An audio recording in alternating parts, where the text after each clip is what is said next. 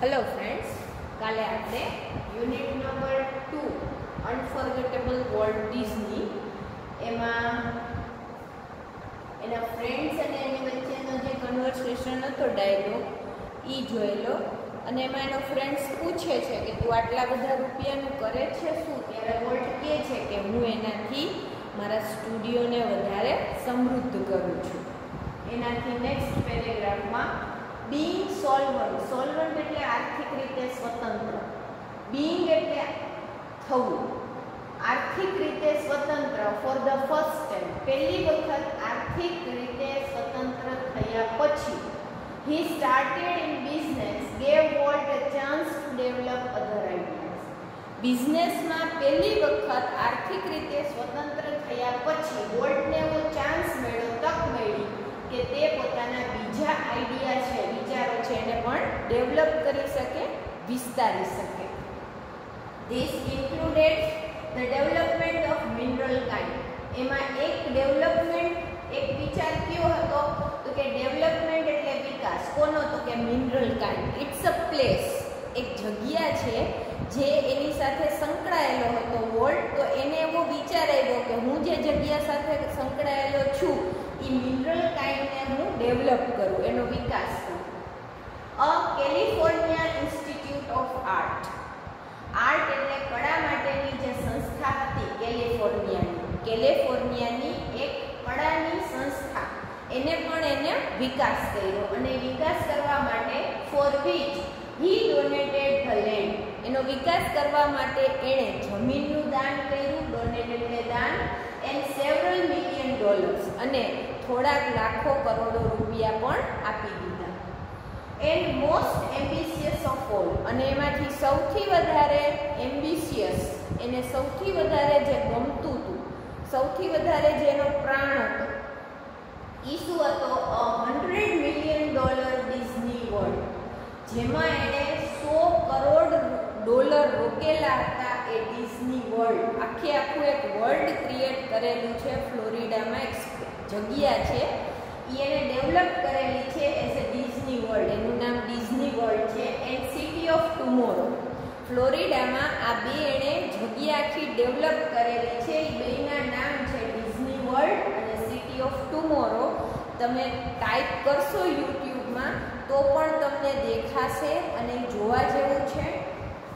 એના પછીના બે પેરેગ્રાફમાં એના એન્ડ તરફ આપણે જઈએ છીએ. Tragically in the midst of all this activity midst એટલે ની વચ્ચે. ઓલ ધીસ એક્ટિવિટી એટલે આ બધી પ્રવૃત્તિઓ ચાલતી હતી.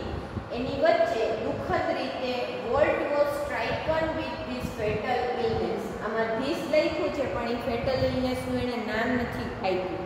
ફેટલ એટલે ઘાતક બીમારી. એને એક ઘાતક બીમારી લાગુ પડી. એટલે એનો હુમલો થયો. કઈ ઘાતક બીમારી? તો કે તમે સર્ચ કરશો તો તમને મળી જશે કે એને કેન્સર થયેલું હતું. તો Walt was stricken with this fatal illness fatal એટલે ઘાતક ઇલનેસ એટલે બીમારી. I heard him refer to this cruel blow only once cruel એટલે ક્રૂર બ્લો એટલે આઘાત. એક જ વખત મેં એને આજે ક્રૂર ક્રૂઅર ક્રૂર રીતે પીડાતો એને પીડા થતી હતી, એ આઘાત વિશે એક જ વખત મેં એને કહેતા સાંભળ્યું. Whatever it is I have got મને જે પણ થયું છે ઈ ટોલ્ડ મી એણે મને કીધું હતું કે મને જે પણ થયું છે ડોન્ટ ગેટ ઇટ એ કોઈને ન થાય.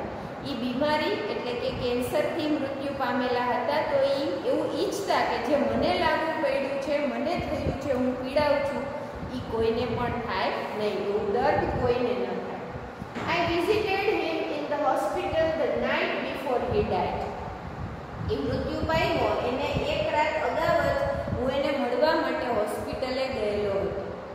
ઓલ્ધો ડેસ્પરેટલી ઇલ ડેસ્પરેટલી એટલે ખૂબ જ ખરાબ રીતે ઇલ એટલે બીમાર હોવા છતાં પણ ઓલ્ધો છે એ કયા લેંગ્વેજ ફંક્શનનો કીવર્ડ છે તો કે કોન્ટ્રાસ્ટ યાદ રાખતા જજો મિત્રો, ખરાબ રીતે, ગંભીર રીતે બીમાર હોવા છતાં પણ he was as full of plans for the future as he had been all his life એ પહેલાંની જેમ જ જેમ એ આખે આખા જીવનમાં સપનાઓથી ભરેલો હતો, વિચારોથી ભરેલો હતો, એવો જ છેલ્લા દિવસે પણ એનું મૃત્યુ થયું, એના છેલ્લા કલાકોમાં પણ એટલા બધા પ્લાન્સથી ભરેલો હતો. એની પાસે કેટલું કરવા માટેનું આયોજન હતા Walt use to say that Disneyland would never be finished. Walt હંમેશા કહેતો યુઝડ ટુ સે શબ્દ આવ્યો છે યુઝડ ટુ કીવર્ડ કેનો છે તો કે પાસ્ટ હેબિટ અથવા તો હેબિચ્યુઅલ પાસ્ટ વોલ્ટ હંમેશા કહેતો કે ડિઝનીલેન્ડનો ક્યારેય પણ અંત આવશે નહીં. એન્ડ ઇટ નેવર વિલ ખરેખર નહીં આવે. I like to think to that Walt Disney's influence will never be finished મને એ વિચારવું પણ ગમે છે અથવા તો એ વિચાર મને બહુ જ પ્રિય છે કે જો ડિઝનીલેન્ડનો અંત ન આવે તો વોલ્ટ ડિઝનીની ઇન્ફ્લુઅન્સ અસર છે એ પણ કોઈ દિવસ ઓછી થશે નહીં. ધેટ થ્રુ હિઝ ક્રિએશન અને કેવી રીતે એની અસર ઓછી નહીં થાય, તો કે એણે જે સર્જન કરેલું છે, એનાથી હંમેશા જીવંત જ રહેશે. Future generations will continue to celebrate what he once described as future generation એટલે આવનારી પેઢી હંમેશા કન્ટિન્યુ શરૂ રાખશે સેલિબ્રેટ એટલે ઉજવવાનું.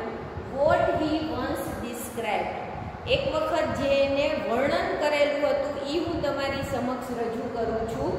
That precious ageless something in every human being આપણે શું હંમેશા શરૂ રાખવું જોઈએ? તો કે આપણી અંદરના બાળકને હંમેશા જીવંત રાખવું જોઈએ. બાળક કેટલું નિર્દોષતાથી કેટલું કલ્પનાથી ભરેલું હોય છે. પણ જેમ જેમ આપણે મોટા થતા જઈએ છીએ, એમ એમ આપણે બીજા બધા વિચારોથી ઘેરાઈ જઈએ છીએ અને આપણી નિર્દોષતા અને કલ્પના શક્તિનું મૃત્યુ થઈ જાય છે. આપણે કશું જ અલગ રીતે વિચારતા નથી. જે બાળકનું મૃત્યુ છે, આપણી અંદર રહેલું બાળક છે, એ ત્યાં જ મરી જાય છે. જ્યારે આપણે કશું સારી રીતે, નવી રીતે વિચારી શકતા નથી. અને જેમ સમાજે આપણને શીખવેલું હોય, એમ જ વિચાર આપણે શરૂ કરીએ છીએ. પણ આપણી અંદર જે બાળક છે, એ હંમેશા જીવંત રહેવું જોઈએ. દેન પ્રેસિયસ એટલે કિંમતી એજલેસ એટલે કે જે અમર છે, જેને કોઈ દિવસ એજ ઉંમર થતી નથી, એવું આપણું મન. બાળક જેવું મન આપણે એમ કહીએ છીએ. તો આપણું મન છે, એને પણ ક્યારેય ઉંમરની અસર થતી નથી. Something in every human being જે દરેક માણસમાં હોય જ છે.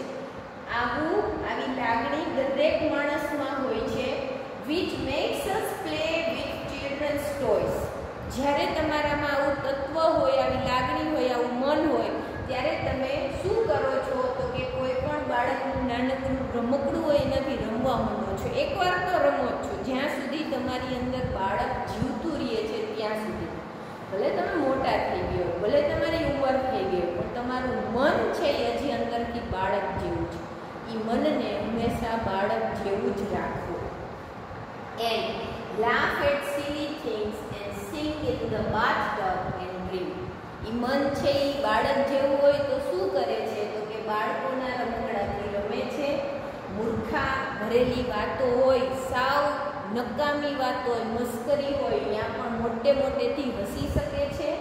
સિંગ ઇન ધ બાથ નાતા નાતા ગાઈ શકે છે એન્ડ ડ્રીમ સૌથી મહત્વનું સ્વપ્ન જોઈ શકે છે.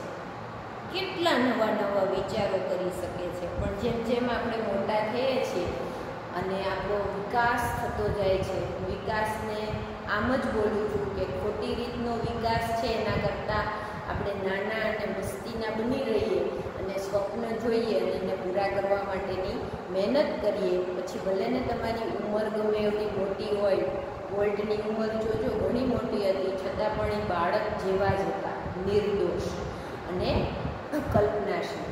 અહીંયા યુનિટ નંબર ટુ છે, એ પૂર્ણ થાય છે, એટલે આપણે ટોટલ ચાર યુનિટ છે એ કમ્પ્લીટ કરેલા છે. યુનિટ નંબર વનમાં read one two same as unit number ટુમાં પણ રીડ વન, ટુ છે એ કમ્પ્લીટ થયા છીએ.